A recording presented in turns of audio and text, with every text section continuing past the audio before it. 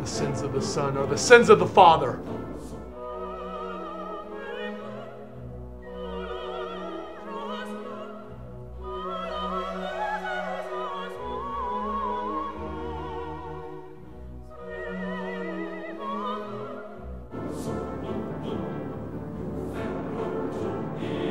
Cut off the head. The body will perish. You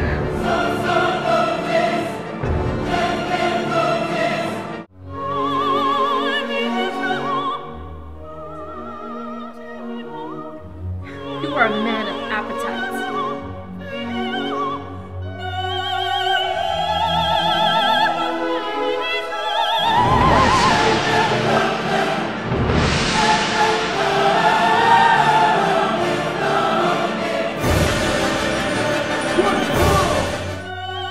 Now Greece has come to Persia.